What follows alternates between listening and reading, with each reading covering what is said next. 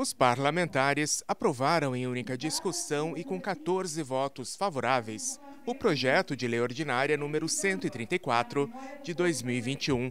O PLO denomina o Centro de Arte e Lazer do bairro São João de Hilda da Silva Moleri.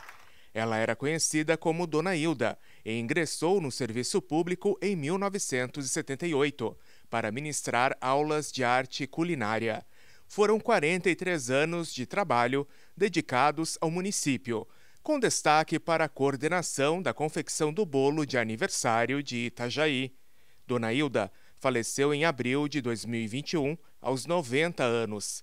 A vereadora Cristiane Stuart é a autora do projeto. Dona Hilda, ela foi minha professora de culinária quando eu tinha 10 anos. Então, isso já faz uns 35 anos, né? É alguém que me viu nascer, crescer, é alguém que fez um trabalho maravilhoso com a comunidade. A dona Hilda tem 43 anos de serviço público.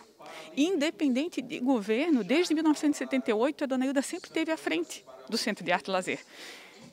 Ela morreu agora em abril, né, faleceu em abril, e estava ainda na coordenação do Centro de Arte e Lazer, comandando o bolo né, do município. Então eu penso que mais do que justo que o Centro de Arte Lazer, que sempre foi comandado por ela, hoje tivesse o nome dela.